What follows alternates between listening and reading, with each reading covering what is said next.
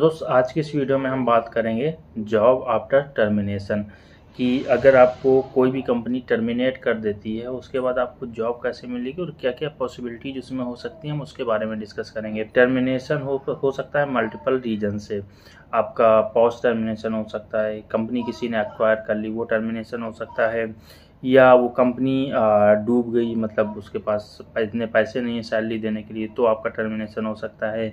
आपने मैनेजर के साथ बदतमीजी कर दी, उस केस में आपका टर्मिनेशन हो सकता है। और आपने इंस्टेंट जॉब छोड़ दी, बिना नोटिस पीरियड सब किए, उस केस में भी टर्मिनेशन हो सकता है। तो ऐसे मल्टीपल रीजंस होते हैं एक एम्प्लॉय के टर्मिनेशन के पीछे। किसी कंपनी ने टर्मिनेट कर दिया तो आपको जॉब नहीं मिलेगी। तो हम उस पर डिस्कस करेंगे वन बाय वन कि किस किस केस में ज़्यादा प्रॉब्लम होती है आपको जॉब ना मिलने के। तो देखो अगर आ, किसी भी कंपनी ने आपके ऊपर पॉज लगा दिया है अपने एच या मैनेजर के साथ बदतमीजी कर दी है तो उस केस में आपको प्रॉब्लम होती है टर्मिनेशन के बाद जॉब मिलने में।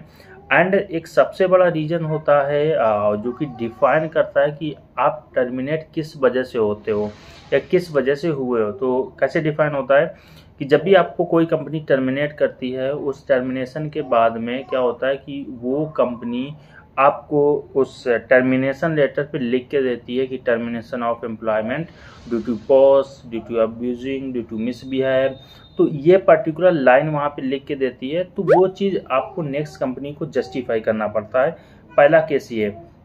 दूसरा क्या है, जो कि इजी है, कई बार कंपनीज़ आपको दे देती है termination of employment from this year to this year एक उसमें टाइम पीरियड मेंशन कर देते हैं कि इस डेट से लेके इस डेट तक आपने मेरे यहाँ पे जॉब करी टर्मिनेशन ऑफ़ दी एम्प्लॉयमेंट तो इस केस में क्या होता है कि वहाँ पे आपके बचने के चांस होते हैं, वहाँ पे बहुत ज़्यादा पॉसिबिलिटीज़ होती हैं।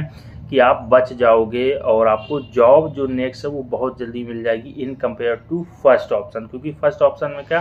वहाँ क्लियर लिखा होता कि किस वजह से आपका टर्मिनेशन हुआ है तो आप उसको घुमा भी नहीं सकते। लेकिन सेकेंड केस में आप घुमा सकते हो जहाँ पे सिर्फ़ आपका पड़ा होता है टर्मिनेशन ऑफ़ एम्प्लॉयमेंट तो टर्मिनेशन ऑफ़ एम्प्लॉयमेंट में आप कुछ भी बोल सकते हो आ, कि आप ये बोल सकते हो कि कंपनी में जैसे आप किसी एबीसी कंपनी ने टर्मिनेट किया आप नेक्स्ट कंपनी को ये बोल सकते हो कि कुछ मेडिकल रीजन था वहाँ पे और मेडिकल रीजन होने की वजह से क्या हुआ कि जो टर्मिनेशन है, वो कंपनी ने मुझे नोटिस पीरियड सर्व करने के लिए बोला, हमने वो सर्व नहीं किया और वहाँ पे उस कंपनी ने मुझे टर्मिनेट कर दिया। मतलब अगर सिर्फ़ टर्मिनेशन ऑफ़ एम्प्लॉयमेंट है आपके टर्मिनेशन लेटर में तो आप उसको वर्बली इंटरव्यू के टाइम पे या एच के डिस्कशन में आप उस लाइन को चेंज कर सकते हो, क्यों क्यों आपका वहाँ पे टर्मिनेशन हुआ था तो इस केस में आप बच सकते हो।